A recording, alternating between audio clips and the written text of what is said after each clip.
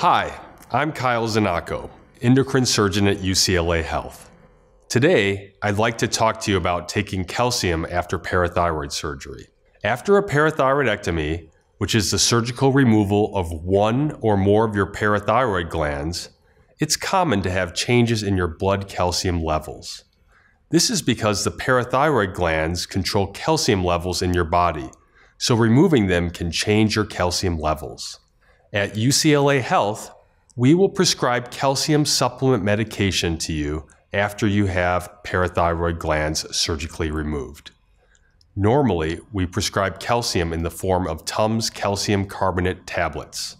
The dose of calcium medication and how often you take it will depend on your individual needs. Usually, regular strength 500 milligram Tums will be taken in a tablet form. Sometimes stores will sell extra strength or 1,000 milligram tablets. For the first two weeks after surgery, it is common to need up to 12 Tums per day.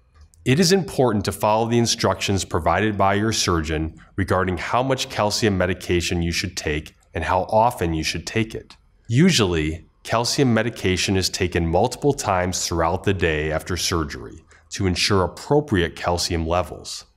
Also, Depending on your situation, we may recommend that you take vitamin D supplement medication, as taking vitamin D may help your body absorb calcium better.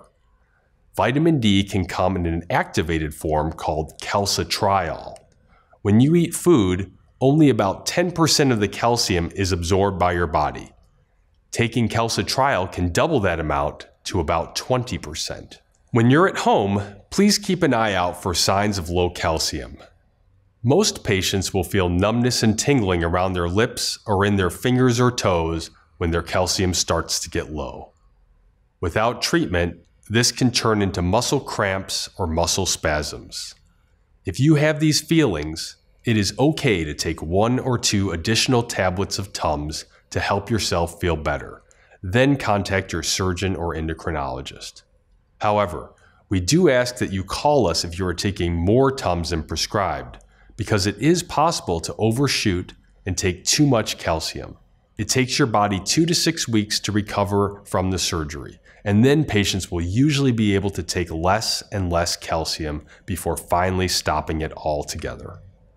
It's important to remember that the information provided here is general in nature, and your recommendations may be different. Your endocrine surgeon or endocrinologist will give you personalized advice based on your specific medical history and needs. For more information, or to see a doctor specializing in parathyroid problems, please visit our website or call the number below. Thanks for watching.